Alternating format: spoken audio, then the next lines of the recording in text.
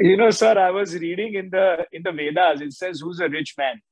And they say a rich man is someone whose needs are less than his income. Even when महीने का दस हजार कमा रहा हूँ need नीड खाली तीन हजार की है I am a rich man and you know अगर मैं दिन का सौ करोड़ कमा रहा हूँ पर मेरी नीड दो सौ करोड़ की है so I think it's very important to live a life of discipline.